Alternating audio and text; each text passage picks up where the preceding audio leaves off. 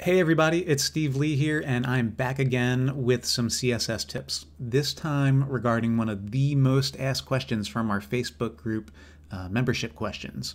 What are media queries or breakpoints, and how do I how do I do them or use them within Divi? So let's get started. Media queries, put in the most simplest terms possible, are just rules that activate a block of CSS only if a certain condition is true. So let me say that again. A media query just activates a block of CSS that you write only if certain conditions exist on that at, at that time. So one of the most common times that um, that we see this or need this is with the responsiveness of your navigation menu. Now Divi has a lot of uh, you know responsiveness built in as far as the breakpoints between uh, a desktop and tablet and mobile, but there's a lot to be desired, um, you know, left over that we've got to adjust on our own. And one of the biggest places is here with the, the nav menu. So let's see what this looks like here. Um, th this navigation menu on the staging site that we're currently uh, working on has the navigation menu font at 26 pixels. And the problem, especially if we had more, um, you know, top level menu categories, is when the screen size gets smaller, say to the size of a, a large laptop or a small laptop, the menu starts breaking and this this font size is staying the same. And you know maybe that's the that's what you want it to look like but maybe it's not. And i think in more cases than not that's that's not what you want it to do. And the way that we adjust that is with media queries. And and you can do this all throughout your site for for any elements um, you know, from from background colors to um, you know the the position or the size and color of fonts. You can write these conditions that say when when this condition is present. In our case, it's going to be screen size. You know, when the screen size is you know this many pixels wide, we want the font for this menu to to change to you know whatever, 18 pixels. So let's dive into that a little deeper and see what it looks like in real life. The starting point for um, you know for writing media queries is first you've got to find out what to target. In our case here, we built this header um, using Divi's theme builder, and so what we're targeting might be a little bit different than what you're targeting. So it's important to make sure that you're targeting the right thing. In our case, um, I, I right-clicked on the page and went to um, you know inspect element. I'm using Google Chrome. You could certainly do the same in uh, in Firefox. And we're going to make sure we're targeting the right thing here. So I, I see here it says font size 26, which seems to add up. And as I go here and I'm pressing the down arrow on my keyboard, it's changing that font size up and down on the screen. So it looks like we're targeting the right thing, which is awesome. The next thing I'm going to do is uh, is just double click this class here and and copy that over to um, to my other screen here. Um, I use a program called Brackets to um, kind of help me write my CSS and keep it organized and uh, save snippets and things like that for, for sites I'm developing. So I'm doing that on, on another screen. So I've got my, um, my class here, which in this case is the um, ET PB menu 0, TB header, and, uh, and, and the menu. So I've got that saved to another screen. The next thing we need to do is start resizing the screen. When you've got inspect element open, up here in the top right hand corner, you can see whenever you're dragging the screen, you can see the pixels changing. It's telling us the width of that screen. And we need to start noting um, when when the, uh, the, the menu breaks. So at this point, we're getting down here to 15. Boom, there it is. Let's see.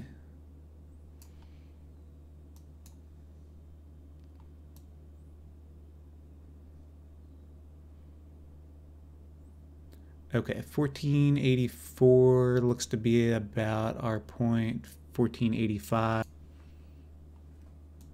All right, here we go. I had to change the font size back to 26. I had it on 25. So it's back at its default of how the page is created.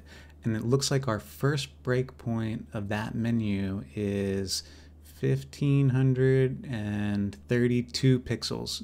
It goes down to um, you know, being a two-line menu, and we don't want that. We're going to try to keep everything on one row. So I noted that over here on my other screen, 1532 pixels. And then what I'm going to do is here in inspect element, we can we can kind of do this live and and streamline everything. I'm going to drop this down, let's say to 22 pixels. And then I'm going to keep resizing the screen. And I'm going to mark the next time that it breaks, which in our case, it looks like it's going to be right about there. Let's see, 1346 pixels, it breaks again. So I'm going to say from 1347 pixels to 1532, we're going to drop the, the font size down to 22. And I'm going to show you how to, how to write that um, in your theme customizer. And, but you notice, so we're at 22 pixels here, and we're going to keep it that way down to 1347, and then under that it's going to break again. So we're going to need to write another media query. Let's see where we're at here. Let's drop down to 20 pixels now and see how far that gets us. And we're going to mark that number. That gets us down to 1200 and 53. So again, we're gonna, um, I'm, I'm, marking these numbers down on, you can do it on a sheet of paper, you can do it on your notepad, um, you know, whatever suits you. I'm just writing these numbers down, what's gonna work for this website in particular. And then we're gonna do it again. I'm gonna drop this down to 18 and see what the, the range is that 18 pixels gets us on the screen before we need to change something. So that takes us down to 1161 or so. And then at that point, I don't think I want to take it down any further. What I might do though is change, uh, you can see here the, um, the little arrow, the little caret for um, any menu items that have um, children. We're gonna go ahead and lower that down to, we'll say 15, just taking out some of that gap there. And I think that that's going to be enough to get us down to, oh, we might need to go one more, down to 16 pixels. That should get us all the way down to, um, to 980 or so. Maybe we'll make that 15. Let's see what that looks like. That still breaks. We'll, we'll play around with it when we get to it. It looks like we go to tablet at 980. So we will we'll play around here with these um, with these figures to see what uh, what it's finally going to look like. And let's see, 15 and 16. Just writing these numbers down on a, on another sheet. Let's dive into our um, our theme customizer and go to the additional CSX CSX CSS section. That can be a mouthful. And uh, we'll blow this up here. Okay, so I've got some uh, I've got some comment markup here. I'm going to start with writing our, our first media query, and you kind of only have to do this once, and in your case, um, just copy and paste what I've got down below in the, the YouTube uh, link description. And you can just copy this and paste it in, and like I said, you'll only have to change one thing, which is your um, what you're targeting. In our case, we use the theme builder, so uh, it might have a different um, class than what yours has. And, and I'll go over that one more time when we get to it. So to write a, a media query, we're going to do at media, because we're making a media rule. And then we've got to give it a minimum width and a maximum width that we're going to work within. So in our case, min width uh, for our first breakpoint going down the line is going to be I've got 1347 written down, 1347 pixels, and a max width of 1532 pixels. So after that, we're going to add some curly brackets. And then we need to add our class. So I'm going to go over to my other screen here and just copy the class that, uh, that I had copied And you can see that that added another set of curly brackets, and that's important that you don't miss that. Um, if you were just copying and pasting an entire media query from inspect elements, sometimes it misses a curly bracket and that can tend to mess things up. Next, we're adjusting our font size. I'm going to type in font-size and change it to 22 pixels. Uh, don't forget your semicolon. And then we need to close this thing out with a curly bracket. So that should be our first, um, our first media query. And we're going to go ahead and save this. We're going to publish it rather and go out to the site and see what that looks like. And then we'll come back and add the others as we go and, and make sure that this kind of looks uh, that we're on the right track here. Okay, so I'm back in the um, in the site. I'm gonna open up inspect element again just so you can see the pixel count at the top of the screen. But ideally what we want it to do is at 1532 pixels, we want this 20 size 26 font to change to size 22 font. So let's get right on down there to 1532. There we go. So you can see that just going back and forth from 1533 to 1532, we've got that that change, which is working perfect. Okay, so now we've got to do this again because as you can see here, that menu still breaks and goes back to um, you know 26 pixels at that lower limit of 13 uh, 1347 right there.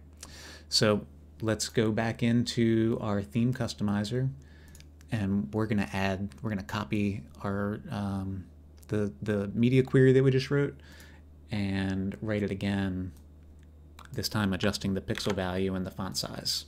So I just went ahead and copied that, we'll paste it, and this time we're going to change it to 20 pixels and say that we want that between 1257 uh, let's see 1257 and up to the um, the the lower limit of the last one we wrote so 1346 1346 all right so from 1257 to 1346 our font size is going to be oh, let me clean up this uh, these spaces here a little bit. From 1257 to 1346, we want our font size to be 20 pixels. And then from 1347 to 1532, it'll be 22 pixels. And then anything over 1532, it'll be that default size of uh, 26. And now we're going to do this again. We're going to copy this, paste it, and we're going to change these numbers again, this time to be um, 1160 for our minimum width, and then our maximum width, it's going to be, remember, one number under your max width of the last query. So 1345, um, or I'm, I'm sorry, uh, one under the minimum width of your last one, uh, in this case 1256.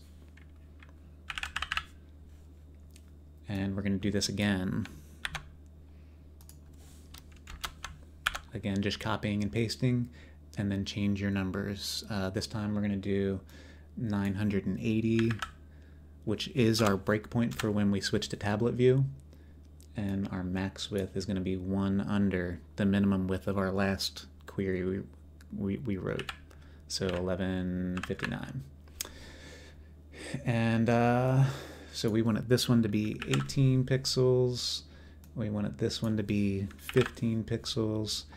And then we also wanted to take out some of the padding um, between the, the little drop-down menu. So I'm going to do one more here, just copying from my other screen because this has a different, um, you know, a different class here. And we're going to change that padding from 20 pixels down to 13. So this is, uh, let's do a quick recap. Um, we'll focus on these here. From 980 pixels up to 1159, we're gonna um, make this this 26 pixel font down to 15 pixels and then from 1160 to 1256 it's going to be 18 pixels from 1257 to 1346 it's going to be 20 pixels from 1347 to 1532 it's going to be 22 pixels and then anything over 1532, it's going to be its default size of 26. So let's hit publish and go back out here to the to the real thing and see how we did.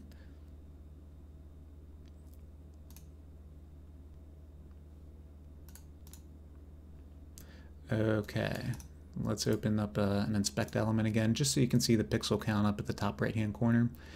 Um, and you should see this thing resize here pretty smooth for us. 1532 I think was our first breakpoint. So let's get there. Boom. That looks good. And then it's changing again and again and again. And that takes us all the way down to, um, to our tablet view which is perfect. That's exactly what we wanted. Now we've still got th some things to clean up here as far as the positioning of some of our other menu items, but it, it's all just the same. This button has its own um, has its own class. You can use this this selector here to find what that class is for that button, and you're just going to copy that. Use the same um, kind of template that I'll have down in the in the, in the description, and um, and and and adjust those things. And remember, you can do this with anything. You can you can do it with um, you could change the font color, you could change background colors, you could change font families, you could um, you can do anything. You're essentially saying with a media query that whenever um, you know this this condition exists, do this, and and that's it. That's media queries uh, as simple and straightforward as we can make them. Uh, guys, thank you very much for sticking with me on this video. I know we're uh, we're coming up on 17 minutes here, which is a little longer than I like to do for um, you know any kind of CSS videos. We try to make them little quick tips, but media queries are a little more in depth and require a little more time and attention. But the end result is awesome, and it makes for a great user experience. And, and hopefully it's it's really seamless. You won't have your clients calling you and saying, "Hey, I'm at home on my laptop," or "I'm on my iPad turned sideways and um, and the the menu looks funny. You know, can you fix that? So uh, that's all I've got for today.